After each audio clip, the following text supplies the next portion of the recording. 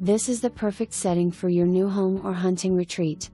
This parcel of vacant land is 20.59 acres and is mostly wooded. The property has 508 feet of frontage on West Linwood Road is and located just east of 9 Mile Road. Imagine the possibilities. Take a look.